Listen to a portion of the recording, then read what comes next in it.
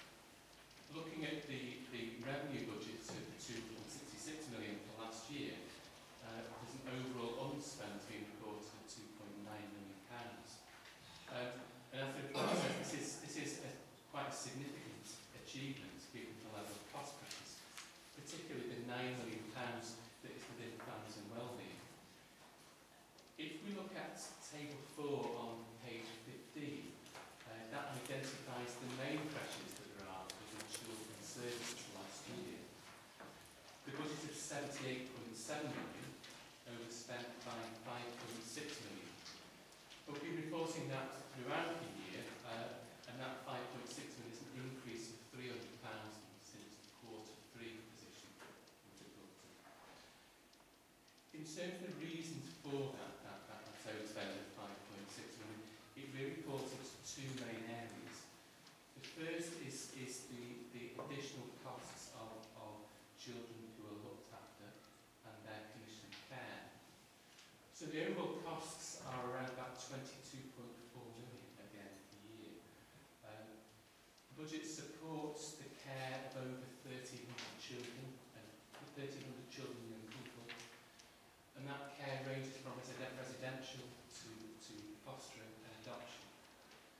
At the start of the year, there were 1,170 children that, that, that, that were uh, in the, the care of the local authority or, or where, the local, where the local authority was providing financial support.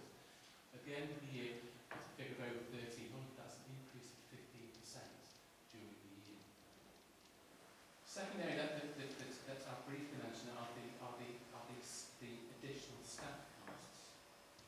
Um, whilst there are additional resources that through the transformation programme, there's been a need to ensure that essential social work posts within the core budget are filled.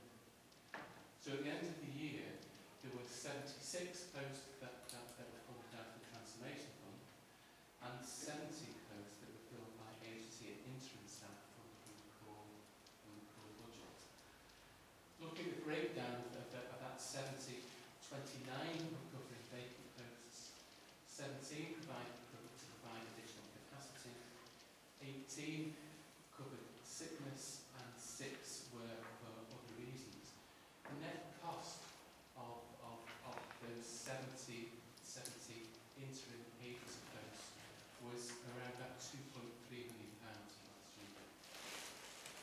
Um, what I would say is, is, is that the difficulties that's, that's, that's arising from the cost pressures are not restricted just to Wirral or just restricted to last year. And they continue to be evident in 1718, where a contingency provision has been made. Um, it does underline the importance of the transformation programme and the campus investment of £2 million last year, following the Ofsted inspection, and a further £10 million has been approved uh, this year. Moving on a bit, there's, there's, there's a section in the report on capital, and that, that records the investment in schools, children's centres and the youth line, and most of